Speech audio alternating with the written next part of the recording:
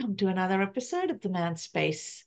Kunle and I are delighted and honored week after week to be featuring different gentlemen from different parts of the world to showcase the impact they are creating and how are they dealing with their emotional and uh, professional challenges and successes and how are they bringing all of this together to truly create lasting impact for themselves and the communities they serve. And today is not going to be any different. You are going to meet an exceptional gentleman from Ghana who is bringing us a lot of different talents and capabilities.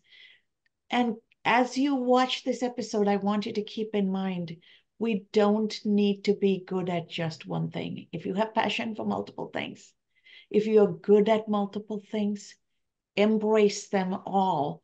I always part jokingly say, I don't ever want to be a one trick pony. I want to be an entire circus. That way, life is fun. And when one act is no longer generating economic prosperity, the other acts can. And it gives us resiliency, it gives us scalability, and truly stabilizes life. So Kunle, take it away. We cannot wait for our audience to meet our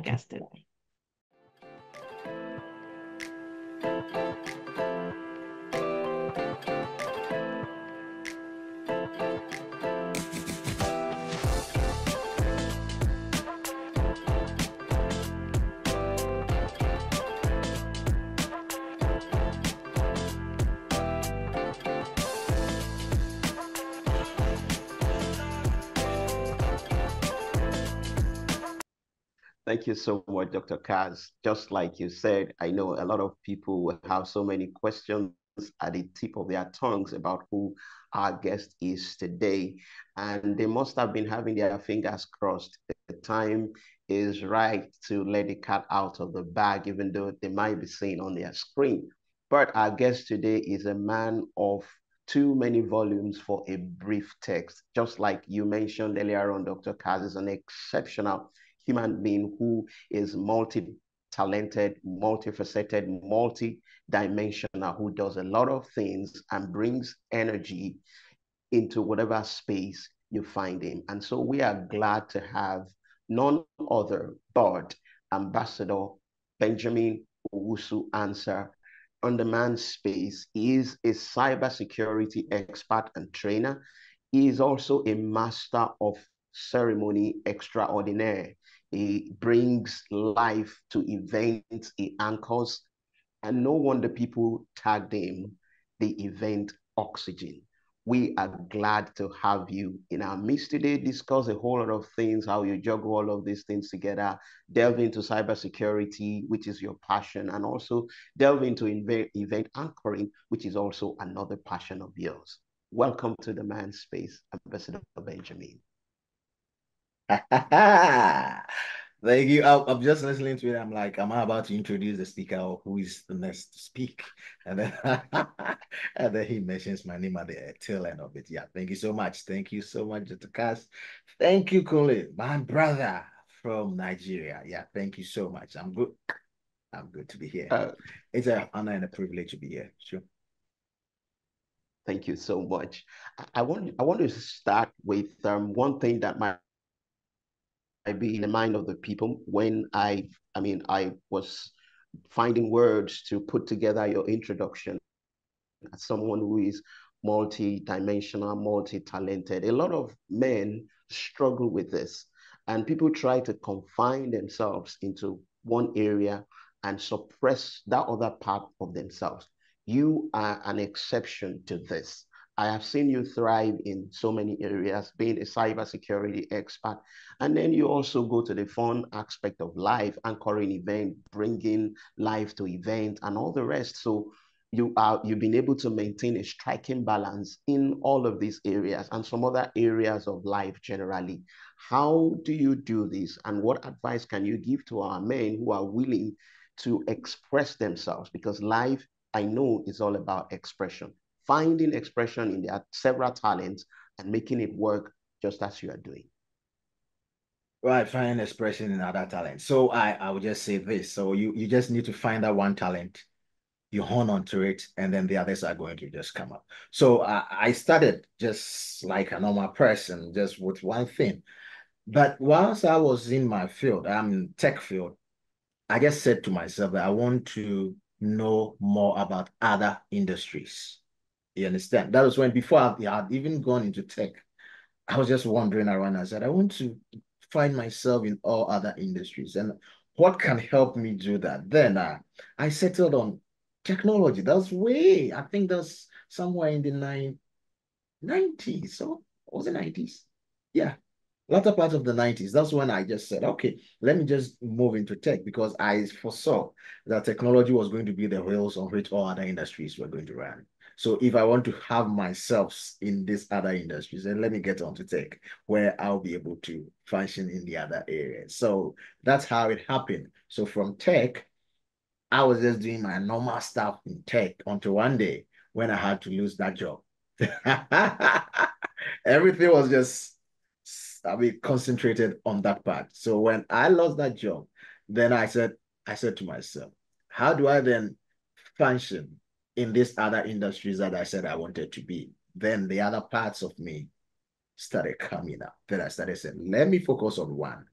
Whilst I was focusing on one along the way, the others started dropping. So I ended up sewing a coat of many colors and I just bring the color which is needed at what time out. So that's how I started it. It wasn't all clear at the beginning but I had glimpses of that. And, and sometimes I was just kind of afraid if I could do all that. But I just targeted one that was technology. So I started in that area. And then it built up from there. When clients had issues and they call on me to come and help them solve their issues, for some strange reason, my whole team, when they have issues and then they are referred to them, they get back to the call center person that they want Benjamin to come and resolve their issue for them. This is because when I go there, I just don't go and then solve straight the issue. I try to understand their understanding of how the issue happened so I can give a solution which will be permanent. So I kind of engage them. And whilst I was engaging them, Kunle, the truth was that I was building my interpersonal relationship with them. So in the course of duty, I had to just go for uh, a program. And when I got to the program, the master of ceremony wasn't around. And my manager just looked at me and said, Ben, up the stage. up the stage to anchor the event. And that was it. When I went there and I handled the event, they came to me that, are you a professional master of ceremony? And I said, no, I don't do that. This is my job. So one thing led to the other the other, and now here we are. I go into places to go for tech businesses, and I'm given a hosting business. I go in for a hosting business, and I'm being given a tech business. So now it's kind of intertwined. It's among me. So I keep bringing them out as and when it is needed. So uh, you can balance it. There is a balance. It's just like sitting on the bicycle. Your first paddle is sometimes scary but when you get it moving, the next step comes in. The next step comes in. The time you realize you're leaving the steering of the bike, and then you'll be lifting your hands up, and then you'll be going down the hill. So that's how I started. Fascinating. And the joy with which you talk about it says it all, Benjamin. And what stands out for me is a lot of times people go and pick one thing and they feel they're stuck just doing it for the rest of their lives. It's like don't going to a buffet and saying, "Oh, I love steak. I'm going to eat steak." Well, for the rest of your life, every meal you just can't eat steak. It gets sickening after a while. And knowing and understanding the very different passions and talents one has, cultivating them actually makes you happier. Talk to us a little bit about the psychological and the spiritual healing that happens when you use all your talent to live your life instead of living it in a single dimension.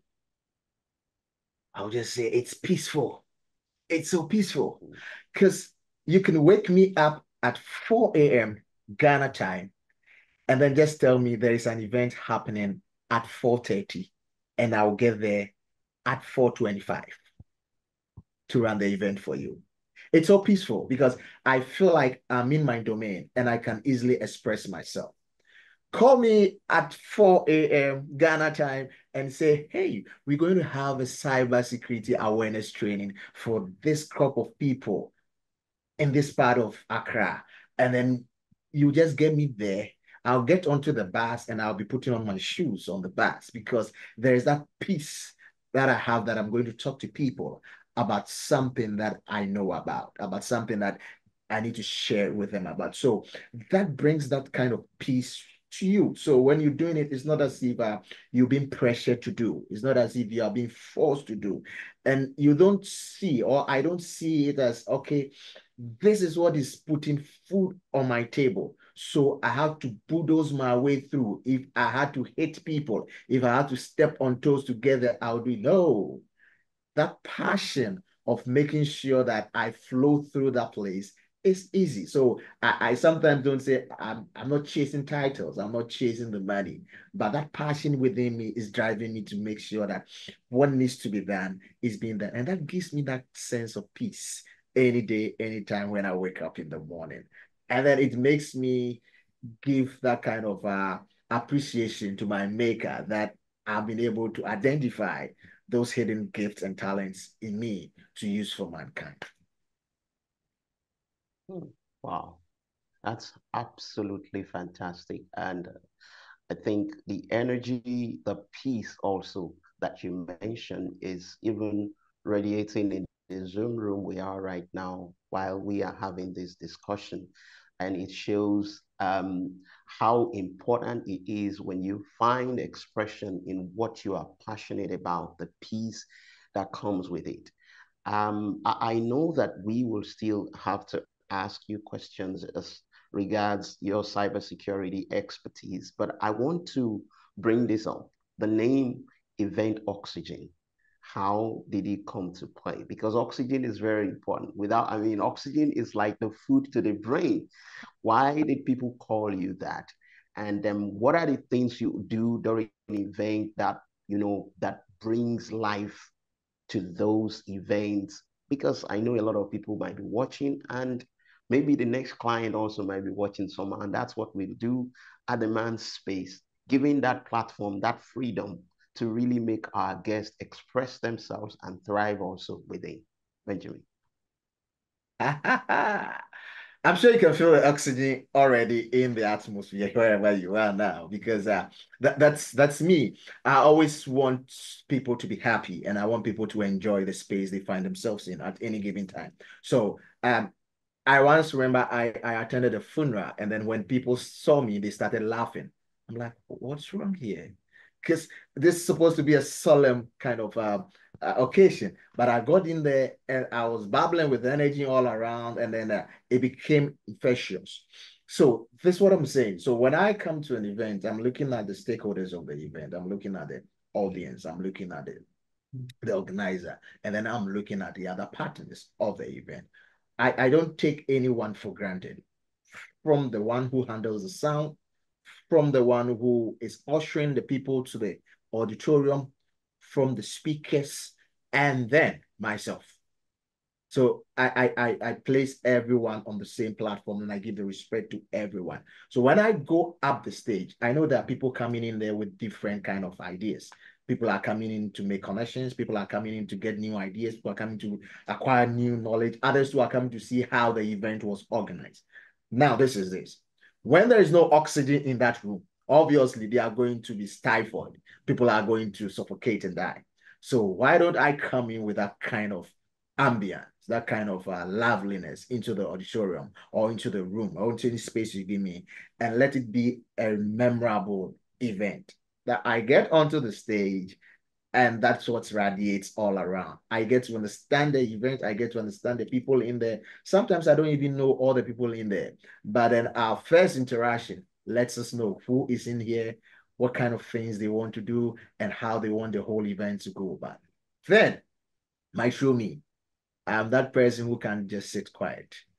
I always want things to be done. So once I get there, I make sure I involve everyone on on or in the auditorium. I involve every person. So that kind of uh, connection, that kind of connection, that kind of connection. Once I'm able to connect with them, the energy flows. So when I'm going in there, I'm always with this mindset that I'm having my own tube.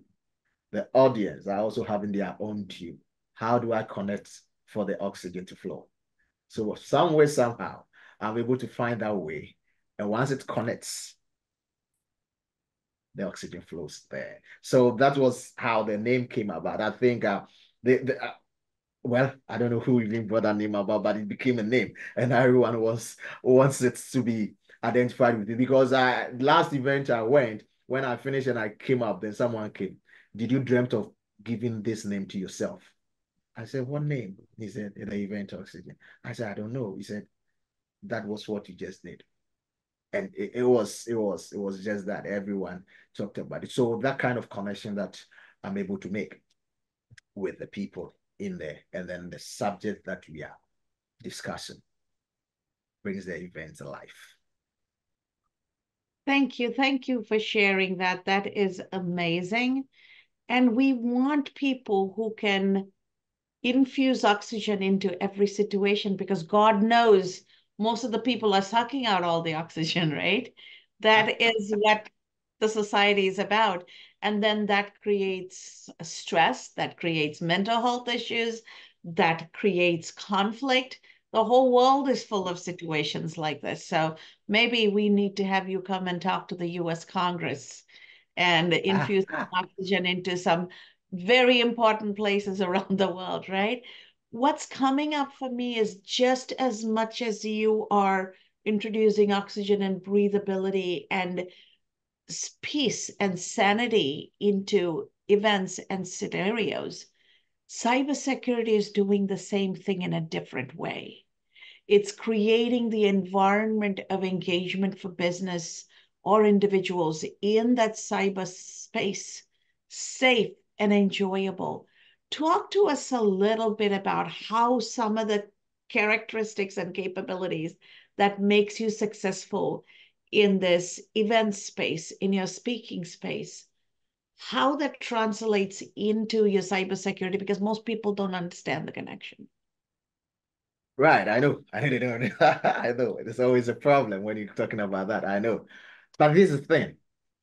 I'm going through my career or my journey. I realized that most of my people are always technical people. They, they always want to do the technical stuff. So one, when you, you, we get a tech person rising to the ranks, they would have almost and almost any time been so technical that they are not able to break the communication barrier between themselves and then senior management for decisions to be made.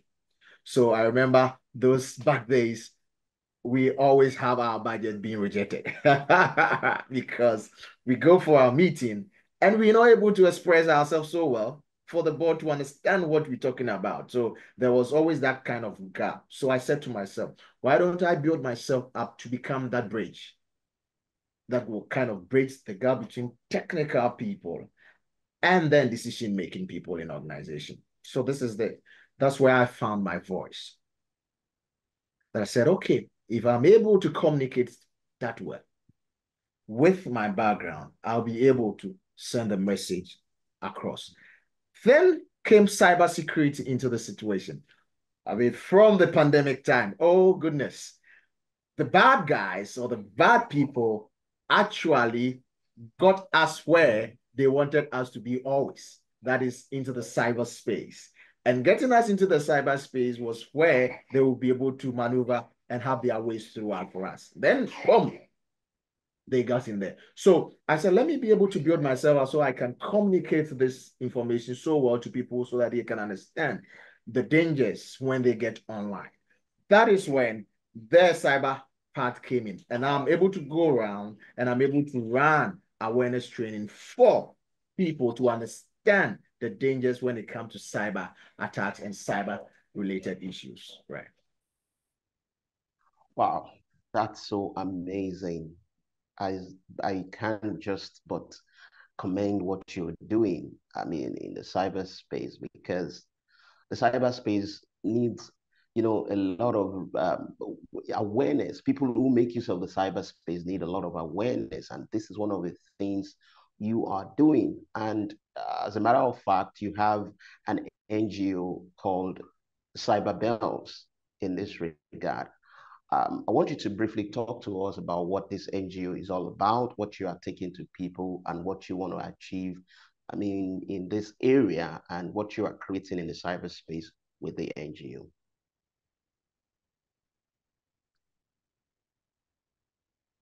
You're muted, Benjamin. Sorry.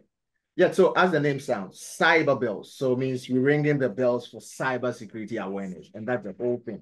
Now, I, I, I came up with this NGO targeting child online protection, that is targeting children, because I realized that they are the next generation and they are people who are going to take charge of the cyberspace. And when we are not able to give them the training at that early stage and then they get onto the main platform, yeah, they are going to be bundled up by these uh, bad people again. So what Cyber Bells does is that we go from school to school, targeting young people and then giving them the awareness. Now, this is the funny thing. When you kind of start talking about cybersecurity, because of its dangers and then hacking and stuff, you get people shunning away from it. So what we decided to do is this. We're not only going there to just talk about cybersecurity. We merge with uh, the Pan-African Arts Ambassador, who comes in and talk about visual arts. Now, when we go in, mostly you go and then you find about 50 children in the classroom waiting for you because they want to learn about cybersecurity. Now he comes in first, and then he does is talking about his journey through uh, the creative art space. Now, by the time he's done on his 20th minute, the whole place is full up. When the whole place is full up, then we go in and we talk about the dangers of cybersecurity awareness to the students. They are all on their mobile phones. They are all on their tablets. They are all on their laptops.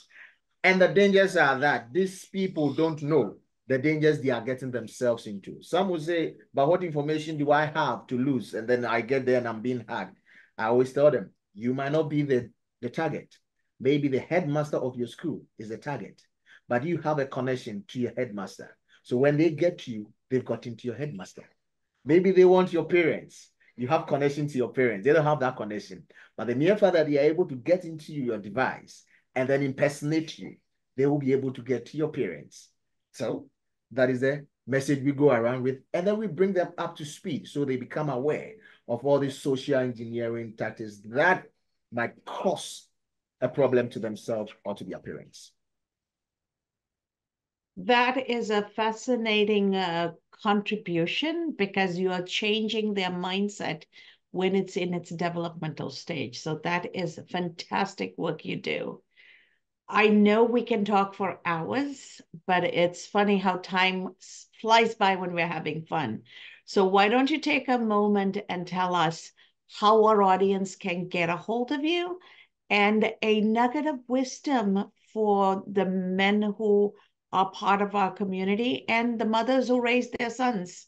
What words of wisdom do you have? And then Kunle is going to take it away to wrap this up. Right. So I always share this story. There was this gentleman who was uh, who joined the Olympics. We just had the Olympics uh, some few days back.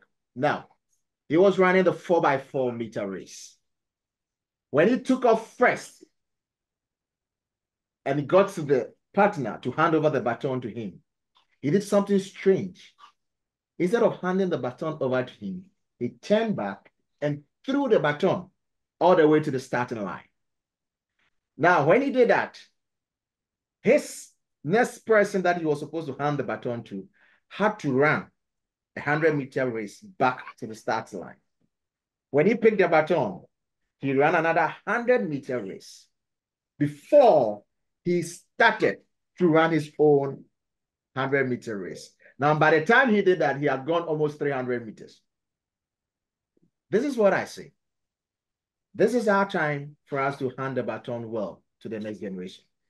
And if we don't have that information, if you don't have that knowledge to do that, this scenario is going to happen. We're going to throw the next generation 100 meters behind. They will have to run 100 meters to pick it up, come back to the starting point, and now they will now have to start their own journey. So whilst we have this time, we make sure the next generation is being fed well. That's why Cyber Bells goes into the schools, gets into the children, and say, this is what you need to know. We don't just do cyber awareness. We go further to empower them, to help them in their public speaking, because whatever be the case, they're going to stand in front of people. They are going to have an audience to listen to what they have within them. So we help build these capacities of these young ones so that they, when we hand over the baton to them, can run to their finish line. Thank you so much. Wow, that was great. That was great, Benjamin. I mean, amazing. We can't just be tired of listening to you. I mean, your words full of wisdom. And I know someone out there will be asking us, you have to let us know how they can get hold of Benjamin. How do they connect with you? What are the platforms people can get across to you? Right. So on LinkedIn, Benjamin Owusu-Ansah on LinkedIn. On Instagram is Ben Owusu-Ansah. On Facebook is Benjamin Owusu-Ansah. And YouTube is Benjamin Owusu-Ansah. Wow. So there you have it. Benjamin Owusu Owusu Ansah on the man's space, giving us a lot, a lot of wisdom, expertise, experience, and sharing it from the depth of his heart. And the whole room is filled with oxygen, just as his name portrays. Thank you so much for joining us today. We really appreciate it. And for those who are watching, that's the man's space. Dr. Kas and I will be coming up with another amazing guest, just like, as we do back to back. And then you cannot just but be um, be glad whenever we bring all of this to you. Stay with us and then keep just engaging with our post, engage with our materials, our content as we bring them to you. Take good care of yourself.